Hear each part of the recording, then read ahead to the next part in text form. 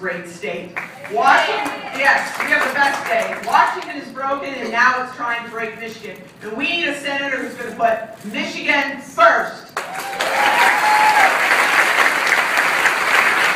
we've been through some tough times here, but we're making a comeback, and that's because of all of you. But it was the policies of Governor Granholm, Mark Schauer, Congressman Peters that brought Michigan that lost decade that we all lived through. But the policies of President Obama, Senator Reid, and Gary Peters are hurting Michigan families once again.